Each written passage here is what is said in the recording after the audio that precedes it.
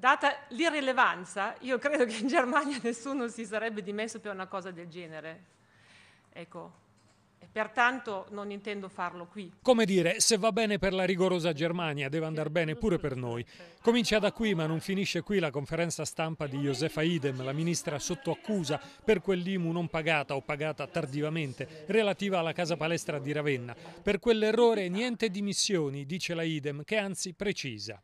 Voglio concludere dicendo che è mia intenzione di continuare ad impegnarmi per il bene del nostro Paese Rimane per il bene del nostro Paese, anche se per ipotesi dovesse essere indagata per queste vicende, perché non sono infallibile ma sono onesta. E per tutto il resto parlate con il mio avvocato, il quale precisa falso che non siano state pagate ICI e IMU, visto che il pagamento con ravvedimento operoso è previsto dalla legge. E tuttavia quella formula è stata vista come un modo tardivo per correre ai ripari, dice l'avvocato che tenta di chiarire la vicenda dei contributi pensionistici per il periodo di 11 mesi in cui la IDEM è stata assessore assessore comunale.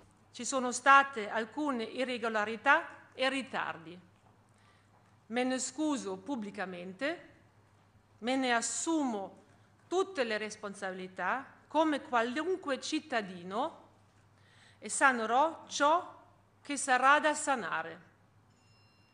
Non sono una cittadina infallibile ma sono una persona onesta. Nessun reato anche per le questioni relative ai presunti abusi edilizi. La contestazione in merito era stata mossa lo scorso 17 giugno e la ministra il giorno successivo ha pagato la sanzione. Una vicenda tutta di carattere morale dunque. E mentre la Lega mette a punto la mozione di sfiducia per la ministra delle pari opportunità, sarà firmata anche dai 5 Stelle, la Idem va al contrattacco per le parole pesanti come pietre e scagliate con inaudita violenza verso la sua persona.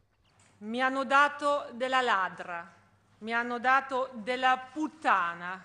Ho vinto cinque titoli del mondo e dieci titoli agli europei. Ho partecipato ad otto Olimpiadi. Nessuna donna prima di me ha partecipato a tante edizioni.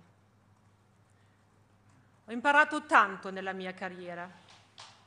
Un metodo per costruire un risultato d'eccellenza. Ho imparato a lavorare in squadra. Non ho imparato a fare la commercialista oppure la geometra e nemmeno l'ingegnera. Ho delegato tutto con una indicazione chiara, operare a regola d'arte nel pieno rispetto delle leggi. Dice proprio così la campionessa ministra prima di abbandonarsi sulla seggiola, lasciar parlare la sua portavoce e chiudere così, tra qualche protesta, la sua conferenza stampa.